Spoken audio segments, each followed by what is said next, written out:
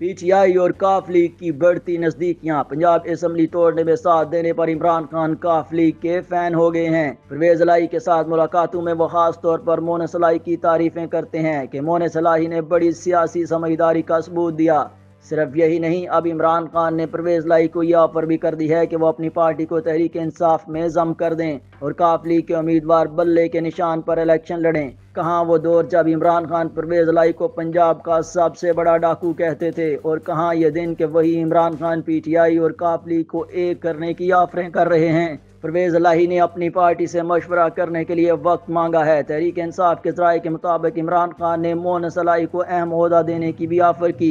जवाब में परवेज लाई का कहना था कि इस मौका पर अगर अहदा लिया गया तो लोग समझेंगे कि शायद हमने बारगेन की है, इसलिए हमें कोई अहदा नहीं लेना।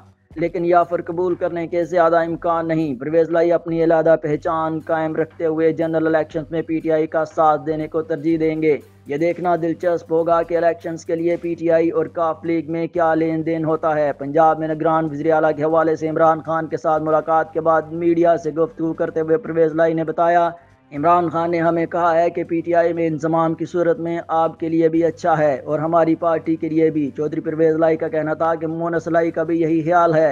दूसरी तरफ़ पंजाब में निगरान वजी अला के इंतब का अमल जारी है। पी टी आई और परवेज लाई की तरफ़ से अहमद नवाज़ सुखेरा, नसीर अहमद खान और नासर सईद खोसा के नाम तजवीज़ किए गए हैं। अपोजिशन लीडर हमजा शहबाज की तरफ़ से अभी तक नाम सामने नहीं आए। तहम सूबाई इलेक्शन से पहले अपनी मकबूलियत का ग्राफ चेक करने के लिए इमरान खान ने राजनपुर का ज़मनी इलेक्शन लड़ने का फैसला किया है।